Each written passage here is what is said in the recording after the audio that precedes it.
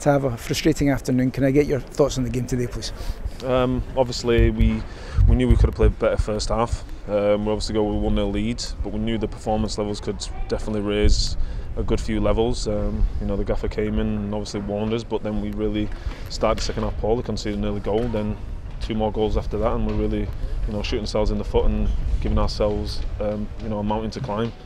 Um, we obviously know that the the performance wasn't good enough, which is disappointing. Um, but obviously, there's six games left to play, and we've obviously got to look back on this performance as quickly as possible, put it behind us, and fully focus on Wednesday.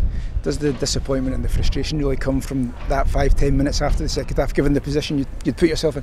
Yeah, because you know since the gaffer came in defensively, we've been really we've done really well, and you know conceding those three goals, the manner that we did is you know disappointing, and we've got to really look back on ourselves and see where the, the areas that we can improve and and uh, learn from it. Yeah, as you say, the squad, the team has been playing so well, performing so well, getting points as well.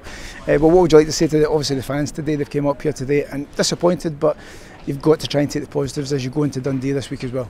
Yeah, you've got to obviously earn the right to play and earn the right to to win a game, and we didn't do that today. So it's you know I could only apologise to the fans that have travelled and obviously the fans that are watching that have seen the game, and you know it wasn't a performance that we've been known for since the gaffers came in. So that's the obviously disappointing side. So we've always got to brush ourselves off and six games to play, and we really focus on Wednesday now.